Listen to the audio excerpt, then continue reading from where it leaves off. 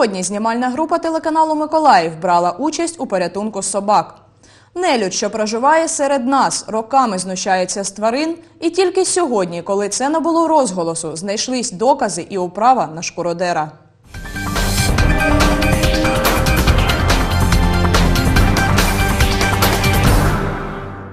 Сьогодні, завдяки центру захисту тварин, патрульній поліції та небайдужим мешканцям мікрорайону Казарського, Рокі знайшов свою родину, яку втратив 26 грудня. Як це відбувалось? Дивіться далі у сюжеті. Сім'я Олексія та Олени Барвюк проживають за адресою Козарського 1Г з 2009 року. Відтоді й почали помічати дивакуватість свого сусіда. З квартири поруч постійно було чути незвичайний шум, скавчання собак та навіть співи півня. А у під'їзді постійно відчувається трупний сморід. Сусіди, які знають хазяїна квартири, всі як один кажуть, що він заманює до себе собак, вбиває та навіть їсть. Он сшил шапки с этих собак, шкуры снимали, вычиняли. Тут такая вонь стоит. Пригрозишь, что тут натравишь на него весь двор. Он успокаивается. Через время опять это происходит. И происходит это вечером. Не то, что он там держит псарню, нет. Он взял, принес, убил, съел. Все, как курицу там остатки выбросил в мусорник. И ничего никак, вообще не докажешь. Всі сусіди без винятку скаржаться на нелюда, а коли кажуть йому щось особисто, у відповідь чують погрози. В квартире постоянная вонь, вонь. они до- варят какую-то дохлятину. Дышать невозможно. Стояк один, вонь забивает это все в квартиру. И зимой, и летом, и осенью, и весною. Повесили за балкон детское белье, то же самое прованивается это белье. Я стираю, пошла к ним, постучала. Он мне пришел, постучал в дверь, обозвал меня и сказал, я подам на тебя в суд. Ті, хто був в квартирі цієї з дозволу сказати людини, зазначили, що там жахлива антисанітарія. Невозможно там вообще находиться. Все то же самое. Опять же тараканы, опять та же самая шерсть и все остальное. Мы так, конечно, жить не можем. Мы ви- везде обращались, но никаких у нас э, помощи к нам не было. Выйти на скамейке посидеть нельзя. Дети вот играются на площадке напротив. Тоже нельзя, потому что вонище задыхаешься. Начинаешь делать замечания, он говорит, не ваше дело. Что хочу, то и делаю.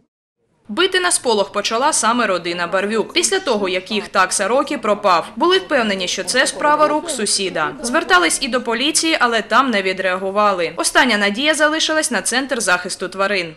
С нами он начал воевать. И образовался конфликт в подъезде. Выскочила моя собака, он ее забрал. По сей день с 26 декабря моей собаки нету. Приїхавши на місце подій, команда центру захисту тварин викликала наряд патрульної поліції. Піднявшись до квартири, на сходах побачили незмиті краплі крові. Проте квартиру ніхто не відчинив. Неподалік від будинку знаходиться дачний кооператив Восток, де є ділянка, що належить цьому власнику. Правоохоронці погодились поїхати на дачу, аби перевірити, чи правду говорять сусіди. Після побаченого там у всіх волосся стало дибки. Да вон кишки, смотри, вон пакет с мусором, с кишками. всё. Дайте ноль. Вся ділянка дачі вкрита густим парканом з очерету. То що відбувається всередині, не видно. Зробивши отвір в паркані з вікна будинку, побачили рокі того собаку, який пропав місяць тому. На емоціях господарка ледь не виламала хвіртку самотужки. Я тебе говорила, что он ее забрал.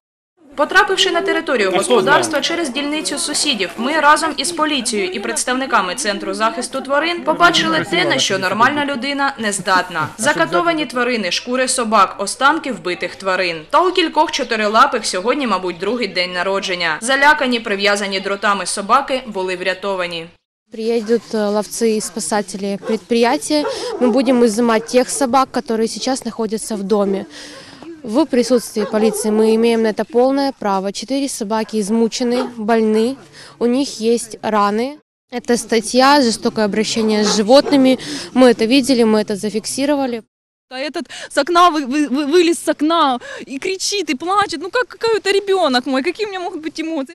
Крім років, вдалося врятувати ще п'ятьох собак. Їх направлено до центру захисту тварин на лікування. А вже після їм шукатимуть люблячих та відповідальних хазяїв. Що буде з нелюдом шкуродером? Відтепер вирішуватимуть правоохоронні органи. Валентина Гурова, Артем Белібов, телевізійні новини Миколаївщини.